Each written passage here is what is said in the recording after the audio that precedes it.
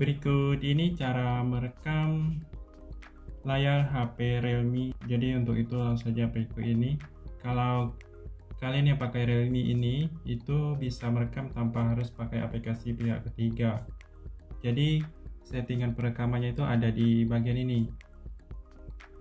Bagian pandai notifikasi. Kalau tidak ada pilih icon pensil ini yang ada di sudut kiri bawah. Kemudian cari perekam layar. Nah yang ini rekaman layar kalian tekan lama gulir ke atas. Letakkan di tempat yang mudah kalian akses atau sering kalian gunakan. Saya letakkan di bagian, bagian paling atas. Setelah itu kembali. Nah kita sudah punya yang namanya rekam layar. Nah uniknya kalau kita pakai perekam layar di HP Realme R Edition ini kalian lihat di sini. Kalian sentuh saja.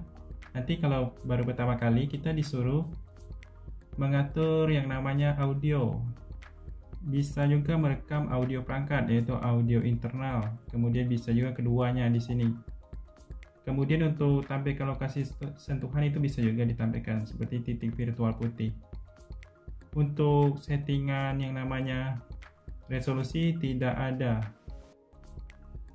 Pilih mulai di sini. Dan kalian lihat sudah mulai merekam. Tidak ada notif countdown atau hitung mundur langsung ada seperti ini merekam layar dengan audio.